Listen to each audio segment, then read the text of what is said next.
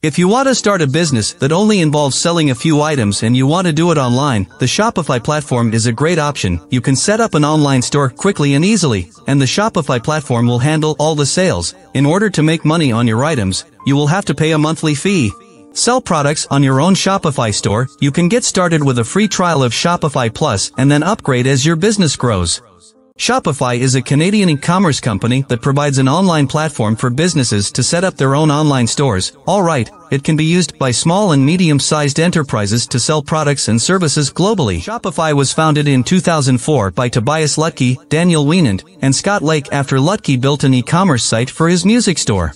The company launched its public beta in May 2006, with 10 employees and 1,000 customers. Alright, in September 2009 Shopify was added to the Toronto Stock Exchange, TSX. The company's platform provides merchants with a variety of ways to accept payments from customers. Alright, these include credit card processing services via Shopify Payments, sales channel integration with Amazon Web Store and eBay through Shopify Plus, as well as other options such as PayPal, Apple Pay, and Google Wallet.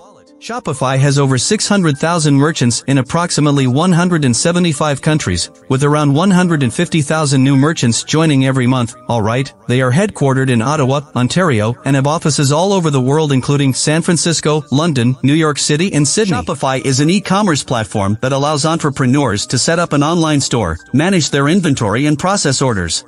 Shopify also provides a web-based design tool for customers to create professional online stores. All of these functions make Shopify one of the most popular e-commerce platforms in the world.